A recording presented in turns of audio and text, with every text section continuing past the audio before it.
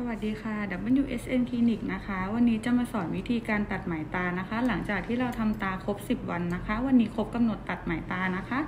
อุปกรณ์ตัดไหมตานะคะ จะมีฟอร์เซปนะคะ แล้วก็กันไกรเนาะหากกรณีที่เราไม่มีฟอร์เซปที่บ้านสามารถใช้เป็นแหนบได้นะคะ แต่ก่อนที่เราเอามาตัดไหมนะคะ เราต้องทำความสะอาดด้วยแอลกอฮอล์นะคะ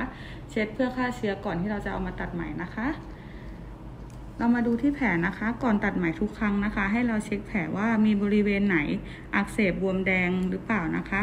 เราก็มาดูที่หัวตาเนาะเราจะมีปมไหมที่หัวตานะคะ แล้วก็หางตานะคะ วิธีการตัดไหมง่าย ๆนะคะ ให้เราตัดจากปมที่หัวตาและหางตานะคะ อาจจะมีเจ็บแป๊บๆบ้างนะคะ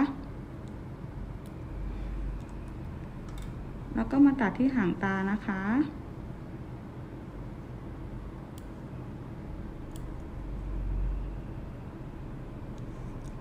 จากนั้นนะคะให้เราเช็ดแผลอีกหนึ่งรอบนะคะ บริเวณแผลกลางตานะคะ เพื่อเป็นการเช็คแผลนะคะ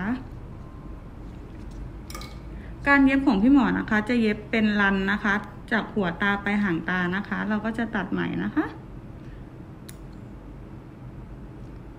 ดำๆที่เห็นคือไหมนะ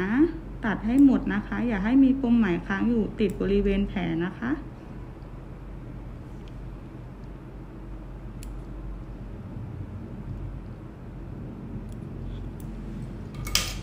หลังจากที่เราตัดแล้วนะคะ เราค่อยๆดึงนะคะ ดึงให้หมดนะ อาจจะมีแสบๆแป๊บๆบ้างนะคะ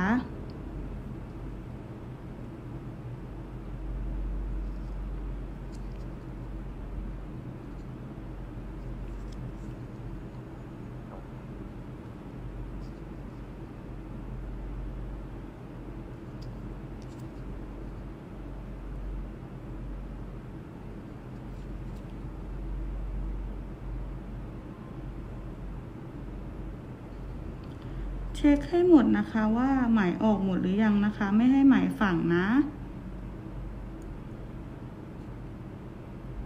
บางจุดนะคะ อาจจะมีคราบยาหรือสิ่งสกปรกติดอยู่นะคะ อาจจะดึงยากเนาะก็ค่อยๆดึงนะคะ หากดึงไม่ออกสามารถใช้น้ำเกลือนะคะ เช็ดแผลนะ ให้สะอาดนะคะ แล้วก็ค่อยๆดึงนะ แต่ต้องดึงเบาๆนะคะ หลังจากที่เราตัดไหมครบแล้วนะคะ ทุกเส้นเนาะไม่เหลือแล้วนะคะ ให้เราทำแผลต่อนะคะ